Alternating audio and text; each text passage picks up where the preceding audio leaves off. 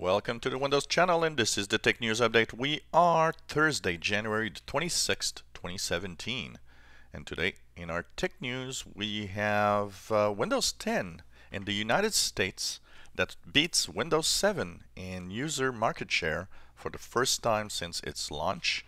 So um, basically it's very close, it's almost neck to neck, you know, it's 31.33% of users are on Windows 10 versus 31.27% for Windows 7. So it's extremely close, but Windows 10 is slowly, you know, getting numbers that are uh, showing that in the United States, a very peculiar market, by the way, uh, for pretty much everything, including, you know, iPhone usage. But if you look at the StatCounter stats for around the world, uh, their stats is that Windows 10 is at 26.7% of usage around the world. It's 1.7% more than the last numbers we had from um, another um, counter.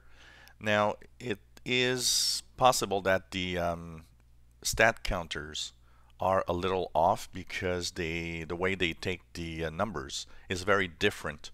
So sometimes they actually um, will give numbers that are a little higher than reality. Still 26, 25, you know, we're close to a quarter of the computers around the world running Windows 10 right now.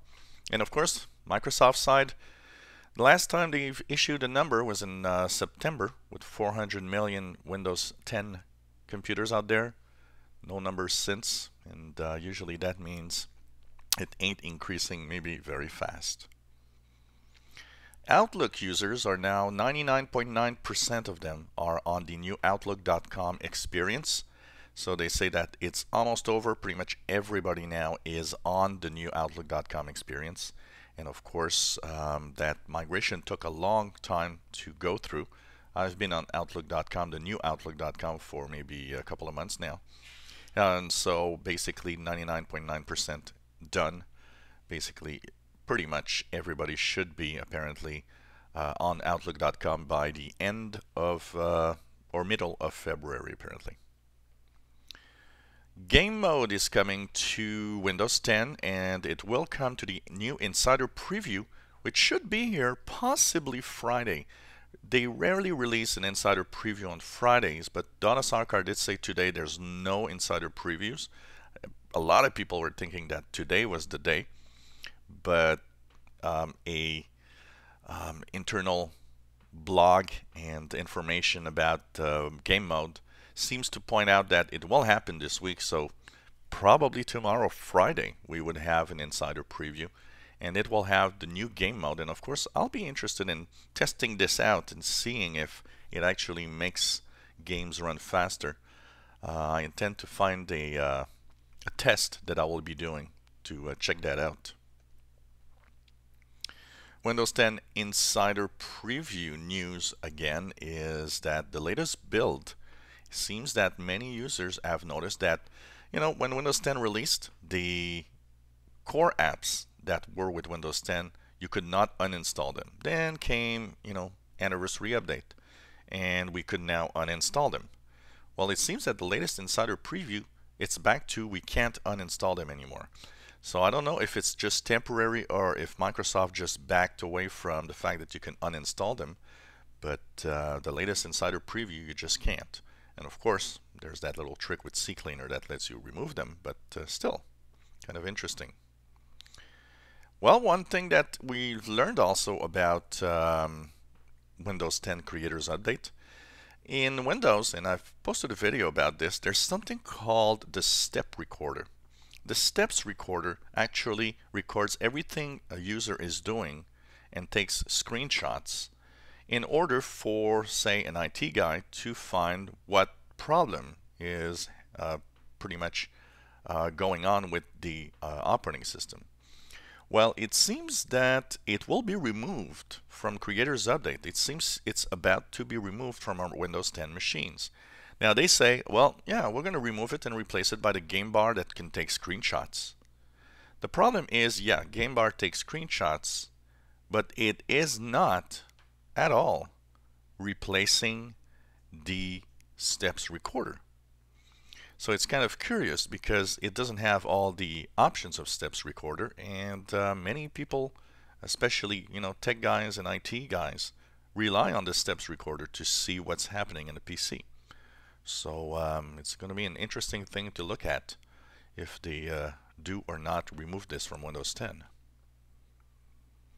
Well, Facebook will add a little more security by um, actually uh, wanting you to, if you want, use a USB security key and NFC to log into a secure Facebook.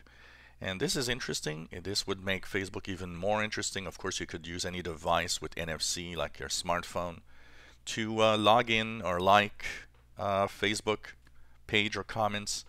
Um, and this is all in an effort to make Facebook even more secure. So this is interesting uh, to look at, and we'll see uh, how the implementation goes with that.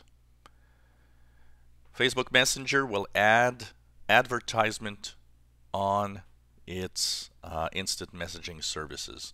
And the way they are doing it, you just can't miss them out. You can't remove them, and you'll just have to look at them.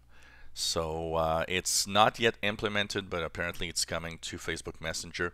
Facebook is looking at different ways to monetize its content, and this would be another way to get um, income from ads with the Facebook Messenger app. Uh, Netflix and Google are teaming up because a lot of municipalities in the US are actually blocking entry of new internet service providers with all sorts of regulations. And Google and Netflix say, well, that's not fair because it, you know, if new companies, new ISPs, including Google itself with, you know, its Google Fiber, wants to get in the market, it just creates more competition. It means prices might go down and services might get better. But a lot of municipalities are don't want that, saying no, you can't. We have you know one or two providers and that's enough, and we don't want any uh, uh, any other providers. So Netflix and Google say, well, that's not fair, and it shouldn't be like that. So of course they're teaming up, and they will uh, of course go to court and try all sorts of uh, legal means to try to, you know, uh, use the deployment of uh, broadband by not only their own services but also by new ISPs in the United States. And finally, the mysterious update that we had yesterday, thanks to Peter that sent me a little email uh, to tell me that now the information was available uh, because yesterday we had no information and no clues of what this was. We now know that uh, KB 3211320 is an update for the servicing stack. What's the servicing stack? It's simply an update to the structure of Windows updates. That means um, it, at first they said critical. Is there just a security flaw in Windows Update? Or it's an improvement to the stack, meaning that they are improving the way Windows Update works in Windows 10. But at least now we know what's inside the updates. So this was a Tech News Update for Thursday, January 26th, 2017. If you have any comments, questions, suggestions, let us know. And don't forget that today at 4 p.m. Eastern, 2100 hours Universal, we have From the Couch episode 3 with me and Gabriel. Hope you can join live, and if you can't, it will be, of course, as usual, recorded on the channel. So thank you so much for following us, and uh, hope that you enjoy our videos.